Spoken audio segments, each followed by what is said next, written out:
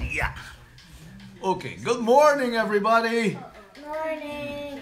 Uh oh, are we still dead? good morning, Mia. Mia's the only one did me good morning. Morning. Oh, there's Chabelle. Good morning. Okay, so today we're gonna we're gonna comment on the Gospel of Saint John. We're still we are still reading Saint John, and today the Gospel comes from chapter 13, verses 21 to 33, and then it's this Gospel is spliced. It comes in two parts, in 36 to 38. Okay, so we are Tuesday. We're in Tuesday of Holy Week. So today's gospel um, recalls the Last Supper. So it's part of this comes from the Last Supper, where our Lord is is uh, going to point out who it is who is going to betray him. Okay, because he has already prophesied, right, that one of his disciples was going to betray him. So in this gospel we're going to learn we're going to hear it later on at mass okay we don't read the whole gospel in this commentary but at mass we're going to hear who it is and and how um, john the beloved disciple you know saint peter nudged him go ask him who it is who's going to betray and then saint john leans on the shoulder uh, on the on the uh, uh, shoulder of jesus and the bosom of jesus and asks so master who it is then jesus says uh, what did Jesus say? Uh, Jesus told him, "Buy what you need for the feast." Oh, sorry, what was it? Uh, oh, what what you are going to do, do quickly. Okay, what you're going to do, do quickly.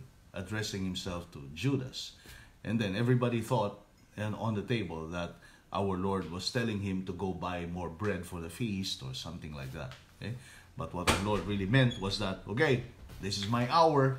So you go ahead do what the devil has influenced you to do, which is to betray him.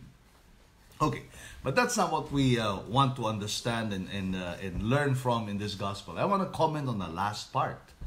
I want to comment about Saint Peter, because I think Saint Peter is very much like many of us. Okay, so I like this characterization of Saint Peter. You know, Saint Peter uh, has the image of being a strong fisherman, right? strong guy, you know, macho, right? uh, rough, rough kind of uh, character, and very daring, very brave, very self-assured, and I'm gonna do it. Yeah? What does he tell our Lord when, when uh, uh, in this Last Supper? He says, Simon Peter said to him, Master, where are you going? Then Jesus answered him, Where I'm going, you cannot follow me now though you will follow me later. Peter said to him, Master, why can I not follow you now? I will lay down my life for you. Then maybe Jesus looking at him with compassion at the same time, maybe with a smile on his face, right? Saying, Really now, you are going to die for me, huh? Well, Jesus answered, Will you lay down your life for me? Amen, amen, I say to you, talking to Peter, the cock will not crow before you deny me three times. So this is the prediction of Peter's denial of Jesus. See? I think imagine yourself in that on that table. Here was Saint Peter saying, No, I'm gonna die for you, I'm gonna offer my life for you, I'm gonna die for you and Jesus maybe with a, you know, a very understanding tone, but at the same time with a little bit of pity, realizing that here you go again, Peter. here you go again. You're promising me again that you're gonna, now you're even saying you're gonna die for me? Well, let me tell you, before the cock crows three times today, or rather, before the cock crows, you would have denied me three times. So what? You know, this is the same Peter who said, Jesus, let me walk on the water for. I'm going to walk on the water for you, you know. And Jesus tells him, okay, come on here. Right? And then, just as soon as he launches himself on the water from the boat. He starts sinking and like a sissy. He said, Oh, Jesus, save me, save me. right? So it's laughable, right? Funny how some of us are like Peter. Right? St. Peter is a great saint, right? That's not, uh, make no mistake about it. St. Peter is a great saint. He was the he was the pope. He was the first pope. He was the one that Jesus has entrusted the keys of the kingdom of heaven to, right? He said, "Well, I entrust to you the keys of the kingdom of heaven. Yeah, you are Peter, and upon this rock I will build my church." Could you imagine that? Our Lord entrusts the entire church to somebody as weak and as feeble and as as uh, how do you want to characterize him as uh, self-assured and as cocky as Saint Peter, right?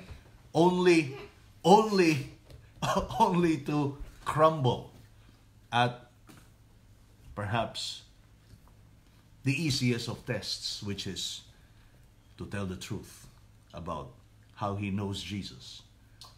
But rather than doing that, he chooses to deny him out of fear. He was a coward after all, right? He was a coward after all. He was a sissy after all. So sorry, Saint Peter. You have to. I don't mean to be. Uh, uh, I mean, I just want to demonstrate human frailty by using you as an example. But I know you'll understand me. But this is the image that Saint Peter gives us, and I know he will forgive us for characterizing him this way. Because what I want to point out is this we are like St. Peter in many respects. We are also weak. We are full of good intentions. We are full of great desires. I want to become a saint. I want to serve God. I want to do good. But, like St. Peter, before he learned his lesson, okay, like St. Peter before he learned his lesson, God bless you, he relied on his own strength. He was relying on himself.